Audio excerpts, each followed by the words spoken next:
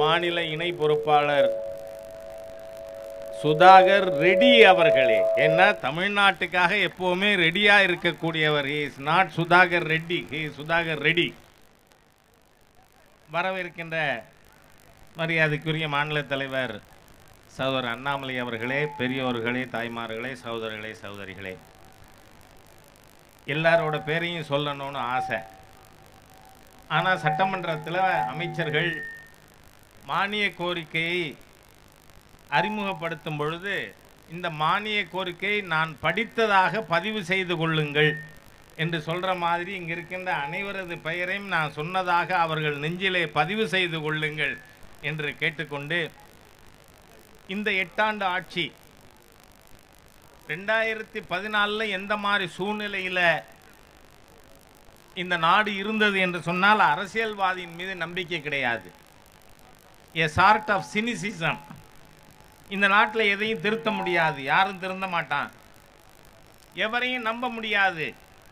என்றெல்லாம் இருந்த காலகட்டத்திலே மாண்புமிகு பாரத பிரதமர் மோடி அவர்களுடைய தலைமையிலே நாம் மக்களை சந்தித்து இந்திய அரசியல் வரலாற்றில் முதல் முறையாக அறுதி பெரும்பான்மையோடு ஆட்சிக்கு வந்தோம். பாரதிய ஜனசங்க பாரதிய ஜனதா கட்சியின் வளர்ச்சி என்பது மிகப்பெரிய தியாகங்களை செய்து படிப்படியாக உயர்ந்து நாம் இந்த நிலைக்கு வந்திருக்கிறோம்.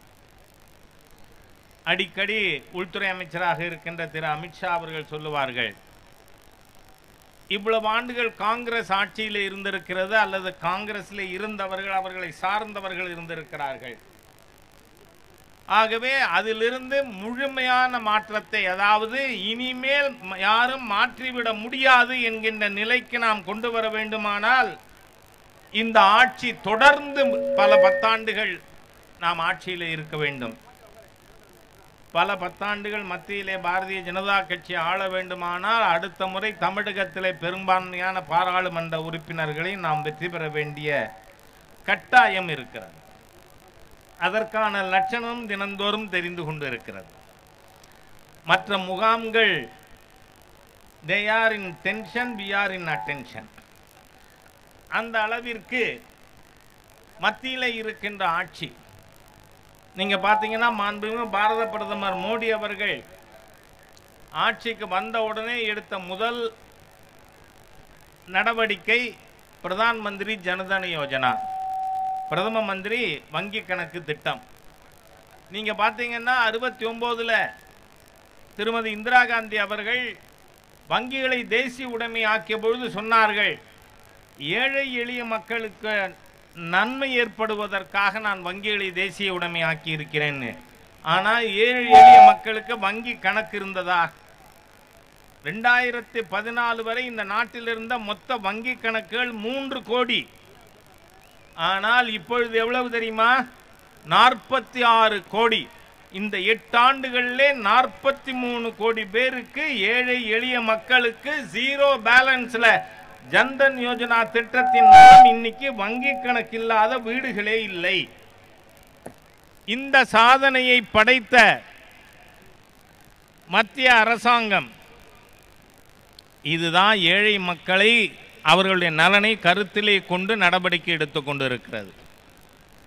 அதே மாதிரியாக அக்டோபர் பன்னெண்டு ரெண்டாயிரத்தி பதினாலு அக்டோபர் ரெண்டு காந்தி ஜெயந்தி அன்னைக்கு மாண்புமிகு பிரதமர் மோடி அவர்கள் தூய்மை இந்தியா திட்டத்தை ஸ்வச் பாரத் அபியான் அறிவித்தார்கள். தூய்மை இந்தியா திட்டம் எதற்காக? நம்முடைய சுற்றுச்சூழல் தூய்மையாக இருக்க வேண்டும் என்பதற்காக மட்டுமா? இல்லை. யோசித்து பாருங்கள் அந்த திட்டத்தினுடைய முக்கியமான பங்கு கழிவறை இல்லாத வீடுகளுக்கெல்லாம் கழிவறை கட்டி கொடுக்கின்ற திட்டம். ஏன் அது எதுக்காக? வீட்டில் இருக்கிற பதினைந்து வயதான பெண் குழந்தை காலை கடனை முடிப்பதற்கு திறந்த வழிக்கு போக வேண்டுமானால் அந்த பெண் குழந்தைக்கு எவ்வளவு அவமானம்? பெற்றோர்களுக்கு எவ்வளவு நாணக்கேடு? அதனால பெண்களின் கௌரவத்தை காப்பாற்றுவதற்காக தூய்மை இந்தியா திட்டம்.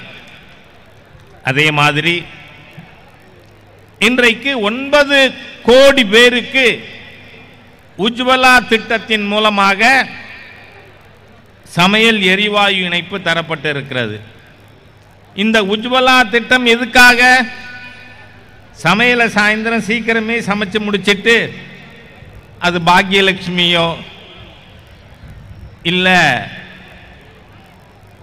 அது என்ன? பாரதி கண்ணம்மா. தமிழன் சரஸ்வதி.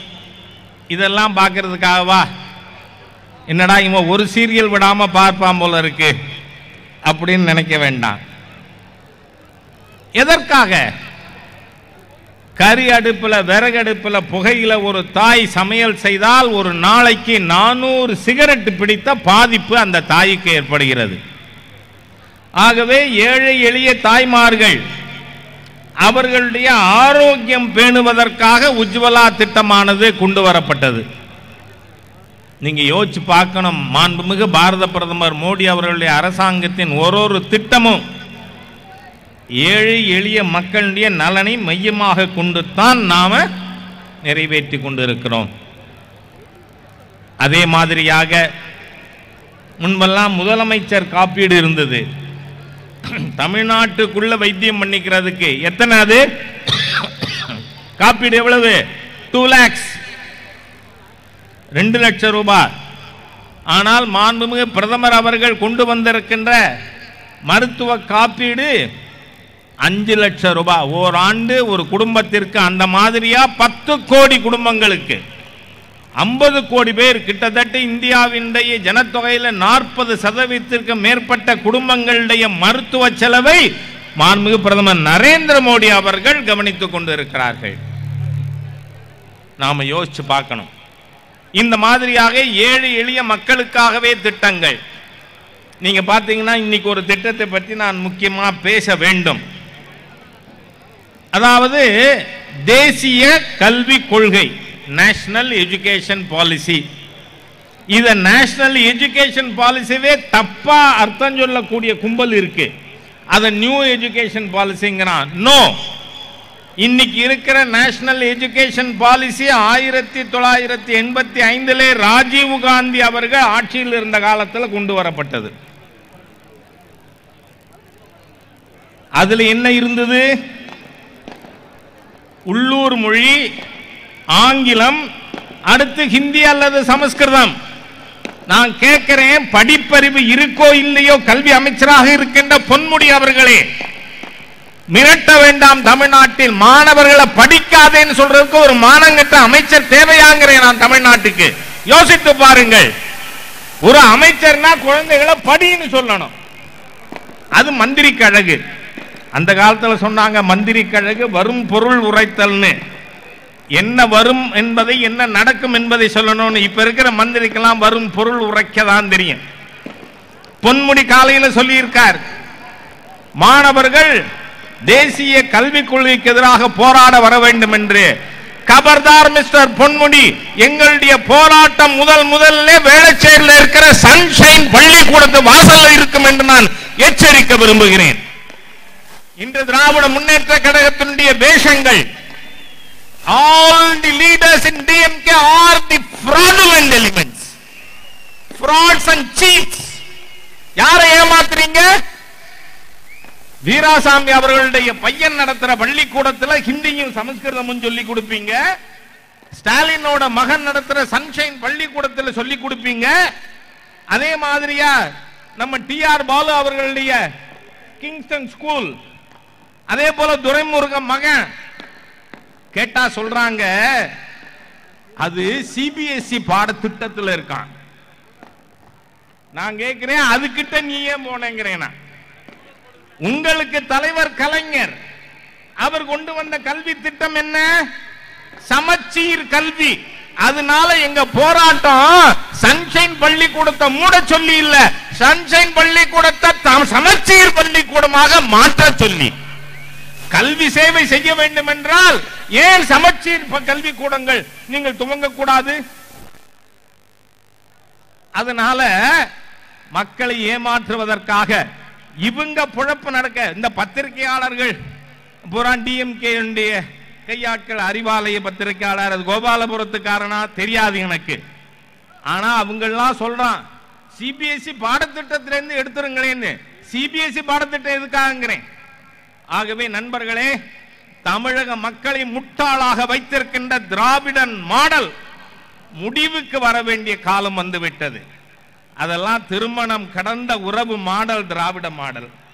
அதுக்கு எங்க ஊர் கவிஞர் கண்ணதாசனும் சாமி சிதம்பரனானும் எழுதிய புத்தகங்களை எடுத்து படிச்சா திராவிட மாடலை கண்டு மக்கள் காரி துப்புவார்கள்.